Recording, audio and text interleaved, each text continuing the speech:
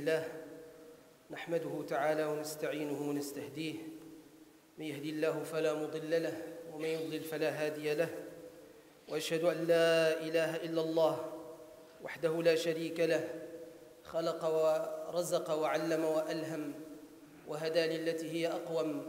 وأشهد أن سيدنا وحبيبنا وعظيمنا محمدا عبد الله ورسوله وصفيه من خلقه وحبيبه. أدى الأمانة وبلغ الرسالة ونصح الأمة وكشف الله به الغمة وجاهد في الله حق الجهاد حتى أتاه اليقين من ربه. فاللهم صل وسلم وبارك عليه وعلى أزواجه وذريته الطيبين الطاهرين أجمعين. برحمتك يا أرحم الراحمين. وارض اللهم عن الصحابة والتابعين ومن تبعهم بإحسان إلى يوم الدين. ونحن معهم يا رب العالمين. ألا فإن أصدق الحديث كتاب الله جل في علاه وخير الهدي هدي نبينا محمد رسول الله صلى الله عليه وآله وسلم وشر الأمور محدثاتها وكل محدثة بدعة وكل بدعة ضلالة وكل ضلالة في النار. يا أيها الذين آمنوا اتقوا الله اتقوا الله حق تقاته ولا تموتن إلا وأنتم مسلمون. يا أيها الناس اتقوا ربكم الذي خلقكم من نفس واحدة وخلق منها زوجها وبث منهما رجالا كثيرا ونساء واتقوا الله اتقوا الله الذي تساءلون به والأرحام إن الله كان عليكم رقيبا. يا أيها الذين آمنوا اتقوا الله وقولوا قولا سديدا يصلح لكم أعمالكم ويغفر لكم ذنوبكم. ومن يطع الله ورسوله فقد فاز فوزا عظيما. أما بعد عباد الله أوصيكم ونفسي بتقوى الله كما سمعتم من قول الله تبارك وتعالى وكما علمتم مما جاء عن النبي صلى الله عليه وسلم أنه وعظ أصحابه وكل المؤمنين موعظة بليغة ذرفت منها العيون ووجلت منها القلوب. فقيل يا رسول الله كأنها موعظة مودع فأوصنا. قال أوصيكم بتقوى الله. فاتقوا الله عباد الله وأحسنوا. وكونوا من الصالحين المصلحين. أصلحوا شأن دينكم وأصلحوا شأن دنياكم وأصلحوا شأن آخرتكم وأصلحوا شؤون أنفسكم فرادى وشؤون أسركم. ومن تعولون جماعات وأصلحوا واجتهدوا واعملوا وكدوا لإصلاح جماعة المسلمين في بلدكم هذا وإصلاح المجتمع الذي تنتسبون إليه في هذا البلد. نسأل الله عز وجل أن يجعلنا صالحين مصلحين لا ضالين ولا مضلين. برحمة أرحم الراحمين. Chers frères et exhortation. De par Allah et son messager sallallahu alayhi wa sallam de se mettre dans la droiture et de réaliser la bonté pieuse et la crainte révérentielle la bienséance, la bienséance et la bonne action, l'excellence dans l'œuvre, dans le vécu au quotidien, dans la relation avec Allah subhanahu wa ta'ala, avec soi-même et avec autrui. D'être bon dans tout ce qui concerne et chercher la bonté et chercher la bienfaisance et l'excellence dans tout ce qui concerne notre religiosité, à commencer par la foi, en l'unicité d'Allah subhanahu wa ta'ala et passer par le culte et l'adoration et l'obéissance à Allah et aller vers les relations sociales, l'action du quotidien, du début jusqu'à la fin Et la fin est éminente. Chaque individu, comme il a connu un début, il connaîtra une fin. La mort nous attend tous, alors œuvrons et agissons pour que nous, nous ayons la meilleure des morts. Comme Allah Azza wa nous l'indique dans la sourate Al-Imran, Et nous mourrez quand vous remettant entièrement à Allah, exalté soit-il et loué. أيها المؤمنون نحن في عام جديد وقلنا في خطبتنا السالفة أنه لا بد لنا من التجديد لأن ديننا هذا هو أصله وهذه هي نوعيته. فالإسلام دين التجديد إنما جاء الإسلام ليجدد للناس علاقتهم مع ربهم سبحانه وتعالى وعلاقتهم مع أنفسهم وعلاقتهم مع غيرهم. جاء الإسلام بعد ادعاء اليهودية والنصرانية. جاء الإسلام لينقض كل ما كان من تشديدات على الناس في دينهم وحياتهم. جاء الإسلام بالتيسير. يريد الله بكم اليسر ولا يريد بكم العسر. وما جعل عليكم في الدين من حرج. ملة أبيكم إبراهيم هو سماكم المسلمين من قبل. الإسلام دين التجديد بطبعه وبكنهه وبوجوده في هذه الحياة الدنيا على هذه البطحاء. ولهذا على المسلمين أن يجتهدوا حين يتذكرون أن لهم عام جديد وأن هذا العام الجديد يجب أن يبدأ بهذه النية. التي تعقد في القلب فيطمئن بها وينشرح بها الصدر ثم يبدأ بها العمل إخلاصا لوجه الله تبارك وتعالى. ولذلك جعل ربنا سبحانه وتعالى من قدره وقضائه أن يجمع الصحابة رضي الله عنهم حول عمر رضي الله عنه الخليفة بأن يؤرخوا للإسلام بهذه الهجرة المباركة هجرة النبي صلى الله عليه وسلم. وهي الدليل على التجديد تجديد ما كان من قبل من ملة إبراهيم حنيفا الذي لم يكن من المشركين. وهو قول الله تبارك وتعالى قل إنني هداني ربي إلى صراط مستقيم دينا قيما دينا قيما ملة إبراهيم حنيفا وما كان من المشركين. فجاء الإسلام بهذا التجديد وإن كان لنا تذكرة أو كانت لنا تذكرة بهجرة رسول الله صلى الله عليه وسلم وصحبه في بداية هذا العام الجديد فهي لا تكون إلا تذكرة بالتجديد كما قلنا.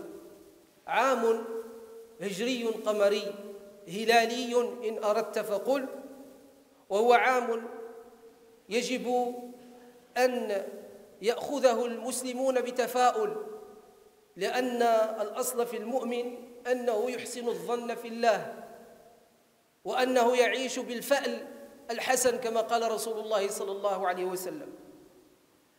فيبارك المسلمون لأنفسهم فيما بينهم هذا العام أي يسألون الله عز وجل البركة في هذا العام أكثر مما كان في عام سابق. ثم تكون هذه المباركة بالبركة الربانية للإنسانية جميعا.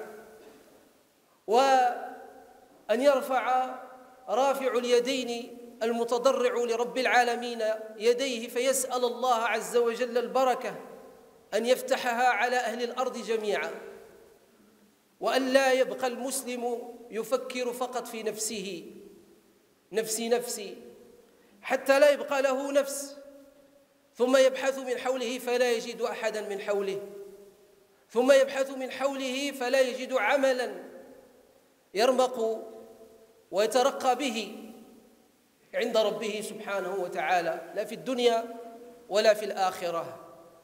الخروج عن جماعة المسلمين كالخروج عن تلكم الدائرة الربانية فالخارج عنها هو سهل على الشيطان الذئب الذي يبحث على افتراس على افتراس المؤمنين في حياتهم الدنيا قبل الآخرة قبل أن يأتي الموت وقبل أن تأتي الغرغرة.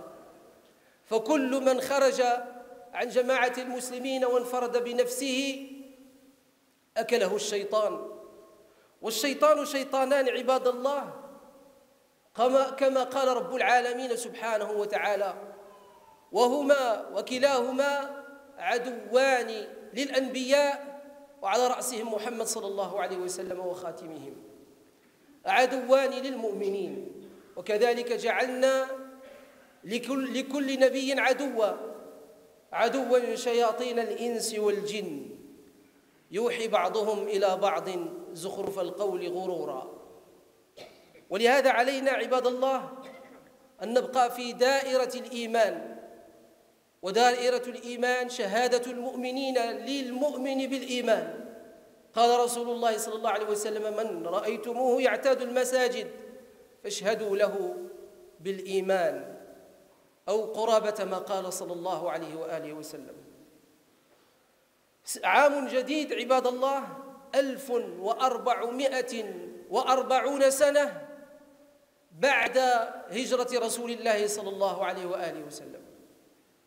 زد عليها ثلاثة عشرة سنة في مكة قبل الهجرة.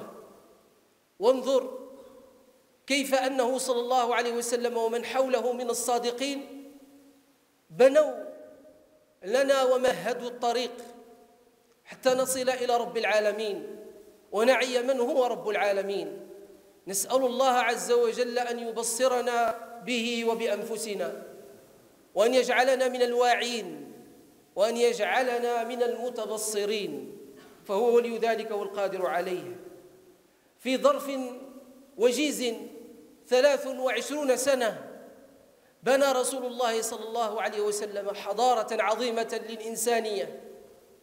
بل مهد للإنسانية الطريق إلى ربها وإلى جنات ربها سبحانه وتعالى. فيا له من رجل عظيم نسأل الله أن يجازيه عنا خير الجزاء جزاء نبي عن أمته. نسأل الله عز وجل أن يؤتيه الوسيلة والفضيلة والدرجة الرفيعة الذي وعده من الجنة. إن الله لا يخلف الميعاد. Chers frères et une nouvelle année égérienne, lunaire, qui nous rappelle, qui nous rappelle l'importance du renouveau. Et dans le renouveau, il y a un mot composé. Ce mot composé se définit par la revivification, redonner vie à ce qui a perdu vie. Aussi, la réforme, réformer, redonner forme à ce qui a perdu sa véritable forme, à ce qui est déformé. Et c'est à nous de faire l'effort individuellement et collectivement pour pouvoir y parvenir. Une nouvelle année, c'est un rappel. Rappeler la nouvelle année, c'est l'imminent parmi les rappels. Lorsque le rappel est bénéfique, nous dit Allah subhanahu wa ta'ala, le moment est propice, le lieu est propice, l'état de chacun d'entre nous est propice. À nous de faire réaliser ce renouveau en nous, cette réforme en nous, cette nouvelle énergie pour nous, non seulement pour nous individuellement, mais pour nous dans nos familles. Revoir et revoir, étudier et réétudier, s'asseoir et se rasseoir, s'assembler et se rassembler, s'unir et se réunir, ne jamais arrêter de garder le lien avec Allah subhanahu wa ta'ala, ne jamais le couper, ne jamais couper le lien avec la famille, malgré tout ce qui peut nous arriver, malgré les discordes, malgré les séparations. Et cette famille, elle est aussi une famille musulmane, c'est-à-dire la Ummah de Muhammad sallallahu alayhi wa sallam. Le père des croyants et des croyantes, alayhi salatu wa sallam, comme il s'est décrit lui-même, bi abi wa ummi, sallallahu alayhi wa sallam. Et ses épouses sont les mères des croyants et des croyantes, comme les décrit Allah subhanahu wa ta'ala. Le prophète sallallahu alayhi wa sallam est au-dessus de tous les croyants et les croyantes, et ses épouses sont leurs mères. النبي أولى بالمؤمنين من أنفسهم وأزواجه أمهاتهم. Le lien est aussi fort lorsque il est à la fois de sang, de foi, de conviction, mais aussi de moralité et de comportement et d'éthique. Et encore plus à travers l'adoration, à travers le culte, à travers la récitation. Et les assises de récitation de Coran et d'études de Coran al-Karim, à travers les mémorisations et les méditations du noble Coran, à travers le dhikr d'Allah subhanahu wa ta'ala, collectivement, en famille et individuellement, au profit de chacun et au profit de toute la famille et au profit de la grande famille de Muhammad sallallahu alayhi wa sallam, qui nous a laissé sur la clarté et la blancheur et la transparence entre nous, à travers cet amour fraternel qu'il a tissé sallallahu alayhi wa sallam dès sa hijra sallallahu alayhi wa sallam. D'où l'occasion de parler de la hijra du prophète alayhi wa sallam. Et on a commencé à détailler avec bien sûr, avec bien sûr analyse et lien avec notre contexte dès dimanche dernier entre le Maghreb et l'Isha. Et nous continuons ce dimanche qui vient, Inch'Allah ta'ala, entre les deux prières de le Maghreb et l'Isha, à parler de cette hijra du prophète sallallahu alayhi wa sallam. Et quelles leçons à en tirer La hijra du prophète sallallahu alayhi wa sallam marque toute l'humanité. L'histoire de l'humanité est marquée. La création et la mise en place, la construction d'un grand édifice de Muhammad sallallahu alayhi wa sallam, de cette civilisation musulmane qui n'a cessé d'apporter du bien à l'humanité jusqu'à ce que ceux qui se proclament musulmans connaissent le déclin. Et à partir du moment où les musulmans ont connu le déclin, l'humanité a beaucoup perdu. Aujourd'hui, c'est à nous de faire les louanges à Allah subhanahu wa ta'ala, de le louer pour cette nouvelle année. Et les louanges à Allah subhanahu wa ta'ala nous permettent de l'adorer, de l'invoquer, de l'évoquer. Et d'évoquer sa bénédiction pour toute l'humanité, car nous baignons dans le même bain que toute l'humanité, mes frères et sœurs. Allah subhanahu wa ta'ala, أيها المؤمنون حينما ذكر الأشهر الحرم ومنها هذا الشهر المحرم شهر الله العظيم شهر الله الحرام. حينما ذكرها سبحانه وتعالى في سورة التوبة قال فلا تظلموا فيهن أنفسكم. جمهور أهل العلم على أن الضمير هنا يعود إلى الأربعة الحرم. وبعض العلماء قال الشهور الاثنى عشر كلها.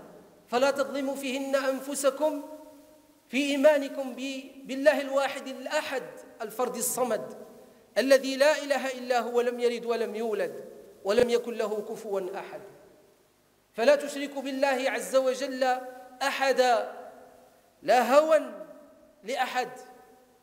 يشركه بالله تبارك وتعالى. ولا رجاء في أحد نشركه بالله تبارك وتعالى. لا يؤمن أحدكم يقول رسول الله صلى الله عليه وسلم حتى يكون هواه تبعا لما جئت به. ولا رجاء إلا في الله تبارك وتعالى. يقول الله عز وجل إن ربكم الله الذي خلق السماوات والأرض في ستة أيام ثم استوى على العرش. يغشي الليل النهار يطلبه حثيثا. والشمس والقمر والنجوم مسخرات بأمره. ألا له الخلق والأمر. تبارك الله. تبارك الله رب العالمين. ادعوا ربكم تضرعا وخفية إنه لا يحب المعتدين. ولا تفسدوا في الأرض بعد إصلاحها. وادعوه خوفا وطمعا. أي خوفا ورجاء. لا رجاء إلا في الله. ولا خوف إلا من الله. هذا دأب الصادقين من المؤمنين. فإن كان لنا ظلم أعظم فهو ظلم الشرك بالله. إن الشرك لظلم عظيم. والإنسان والمرء فيما بيننا. ونحن نشهد أن لا إله إلا الله وأن محمد رسول الله. لا يدري من أين يأتيه الشرك. شرك خفي أو شرك جلي نسأل الله العفو والعافية لنا ولآبائنا وأمهاتنا ولأزواجنا وذرياتنا فهو ولي ذلك والقادر عليه Chers frères et Très chers frères et sœurs, la foi en l'unicité d'Allah subhanahu wa ta'ala, c'est le premier pas de la réforme. Réaliser la ilaha illallah en nous, c'est-à-dire n'avoir d'espérance qu'en Allah et qu'en le destin d'Allah subhanahu wa ta'ala. Et l'espérance en Allah et en, la, prédestination d'Allah subhanahu wa ta'ala exige de nous d'agir pour construire l'avenir. On ne peut pas arriver à une finalité sans utiliser les moyens. Et en islam, il ne peut y avoir de finalité que celles qui sont propres de tout associationnisme et idolâtrie, que celles qui sont pures pour Allah subhanahu wa ta'ala, que celles dans lesquelles il y a sincérité vis-à-vis d'Allah et sincérité vis-à-vis de la créature d'Allah, celles qui sont bénéfiques pour toute l'humanité, car nous faisons partie de l'édifice d'Allah, et l'édifice d'Allah, c'est toute son œuvre, c'est toute sa création, mes frères et sœurs. Redonner vie à notre foi en l'unicité d'Allah subhanahu wa ta'ala ne doit, ne doit pas être une théorie, ça doit être une vérité réalisée par l'œuvre et l'action. Telle est la description de la foi, émanant du prophète sallallahu alayhi wa sallam à travers les sahaba radiallahu anhum et leur consensus. La foi, c'est tout ce qui est ancré dans le cœur par la conviction et qui est traduit par l'action. L'action du quotidien est une foi en Allah subhanahu wa ta'ala. Et rappelez-vous le hadith du prophète sallallahu alayhi wa sallam de Shu'ab al-Iman, dans lequel le prophète sallallahu alayhi wa sallam dit A'laha la ilaha illallah wa adnaha imatatu al-ada al-tariq wal haya'u min al-iman le plus haut degré, le summum, parmi les branches de la foi en Allah subhanahu wa ta'ala, c'est réaliser l'unicité d'Allah subhanahu wa ta'ala dans notre vie. Et le plus bas niveau dans cette réalisation qui, qui vient à travers ces branches de la foi, c'est retirer, enlever tout ce qui est nuisible dans la vie de la création d'Allah subhanahu wa ta'ala. La vie animale, végétale et humaine en priorité. L'être humain en priorité. Enlever tout ce qui est nuisible dans cette vie exige de nous d'agir et d'œuvrer. Et le hijra, ibadallah, c'est à la fois quitter et aller vers. C'est à la fois délaisser et s'attacher à autre chose. Donc c'est deux actions en même temps. L'une est contraire à l'autre. C'est s'éloigner de toute turpitude et acte blâmable.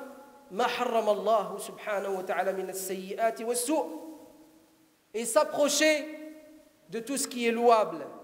C'est réaliser ce que Allah a voulu, a voulu de la Ummah de Muhammad sallallahu alayhi wa sallam. كنتم خير أمة أخرجت للناس تأمرون بالمعروف وتنهون عن المنكر وتؤمنون بالله Vous ne serez véritablement la meilleure communauté extraite de l'humanité au profit de l'humanité d'Allah Azzawajal que lorsque vous appelez à ce qui est louable et vous interdisez ce qui est blâmable, prioritairement à vous-même.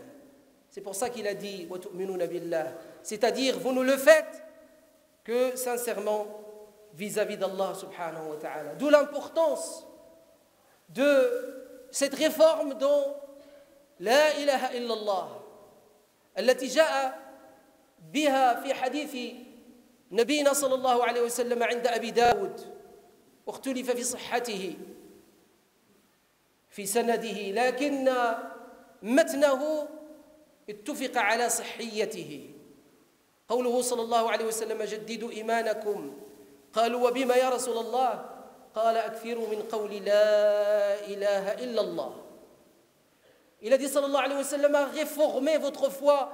Ils ont dit comment ya Rasulallah Il a dit sallallahu alayhi wa sallam réaliser la ilaha illallah au quotidien dans votre vie.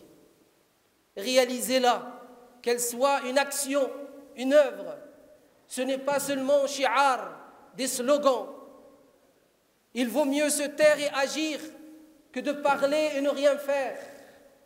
كبر مقتا عند الله أن تقولوا ما لا تفعلون أيها المؤمنون Il vaut mieux agir tout en appelant à agir que d'appeler à agir et ne pas agir. Ce serait, ce serait de l'hypocrisie qu'Allah subhanahu wa ta'ala a interdit et que toute personne munie d'intelligence s'interdise.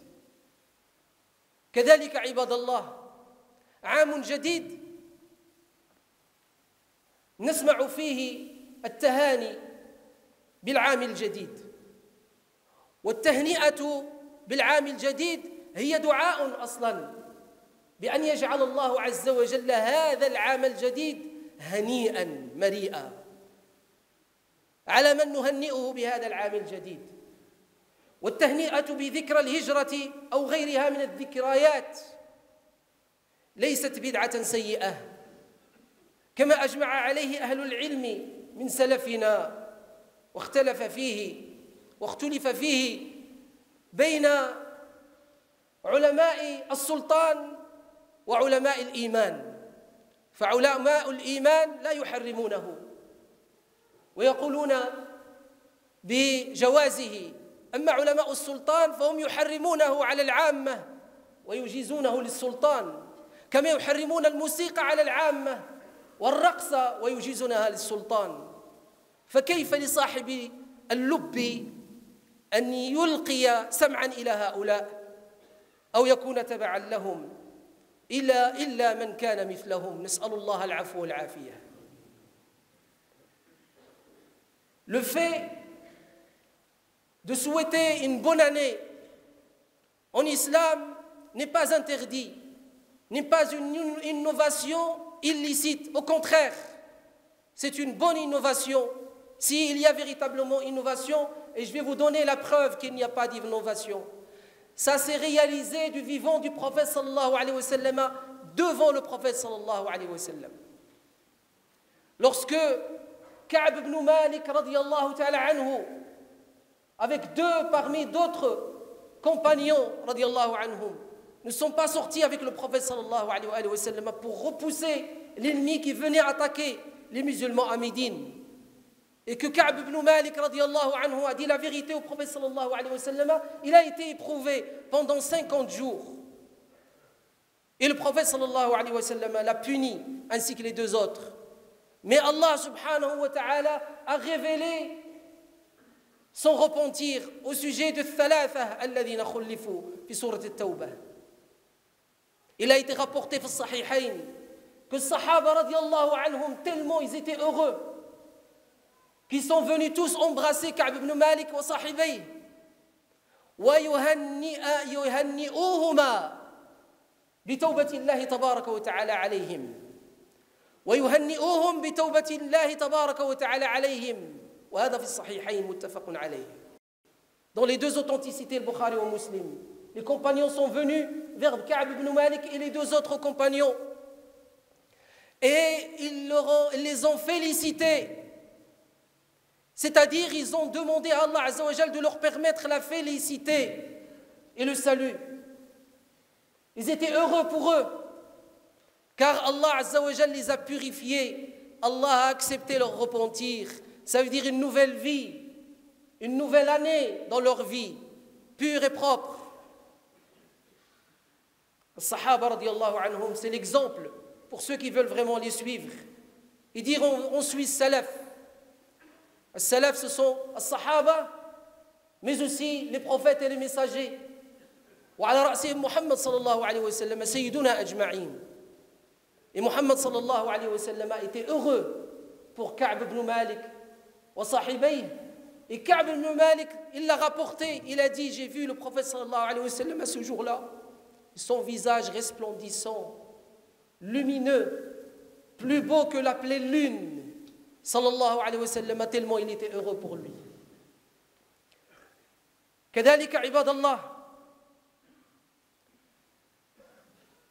إن العلماء ناقشوا هذا الموضوع وخلصوا بخلاصة ذكرها الحافظ ابن حجر رحمه الله تعالى في الفتح وذكرها الحافظ المقدسي المالكي في كتابه أبواب الخيرات. فقال رحمه فقال رحمهم الله اتفق أهل العلم ça هذا إجماع c'est un اتفق أهل العلم أن في هذا اختلاف بين الصحابة وأنه في حقيقته مباح لا هو سنة ولا هو بدعة أي هو من المعاملات Donc c'est quelque chose qui fait partie de la vie sociale. Et dans tout ce qui fait partie de la vie sociale, nos ulama nous disent الأصل في الأشياء الإباحة إلا أن يأتي تأتي قرينة فتخرجها عن هذا الأصل.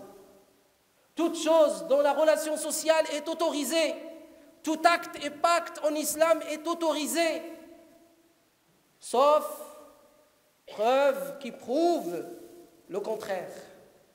Et la preuve qui prouve le contraire ne doit être que texte scripturaire et non pas discorde et division entre les musulmans. أيها المؤمنون إحياء ذكرى هجرة نبينا صلى الله عليه وسلم في هذا الشهر العظيم شهر المحرم الحرام فيها عند أهل العلم اجتماع على الدروس والحلقات حلقات الذكر وحلقات العلم. نخصص لها يوم الأحد بين المغرب والعشاء إن شاء الله تعالى هذا الأحد المقبل. تتمة لما بدأناه يوم الأحد الماضي. كما نذكر على أننا لنا درس بين المغرب والعشاء يوم السبت كذلك. وهذا الدرس نتناول فيه القرآن الموضوعي. أي تفسير القرآن الموضوعي. لا نأخذ الآيات والكلمات كلها كلا على حدة ولكن نأخذها بمواضيع مخصصة. وأول موضوع هو هذا الذي نحن فيه البداية.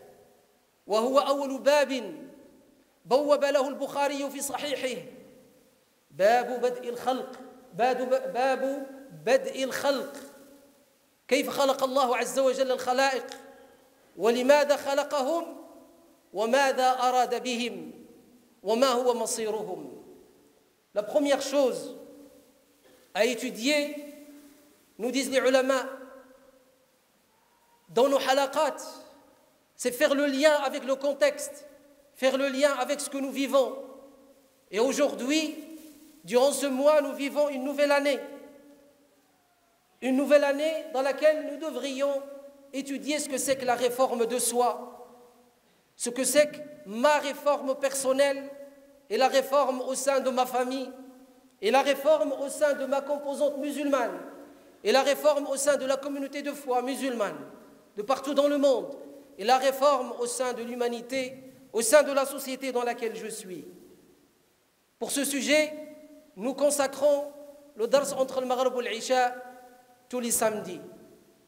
Quand nous étudions depuis l'année dernière l'exégèse et l'interprétation du Coran thématique, pas le Coran mot par mot, verset par verset, walakin le Coran selon les thèmes qu'ont étudié nos savants, nos grands ulama, à leur tête, Al-Bukhari, dans son premier chapitre, dans lequel dans lequel il parle du début de la création à travers le début de l'wahi, le début de la révélation à Muhammad sallallahu alayhi wa sallam. Et le début de la révélation à Muhammad sallallahu alayhi wa sallam, comme vous le verrez, c'était des songes.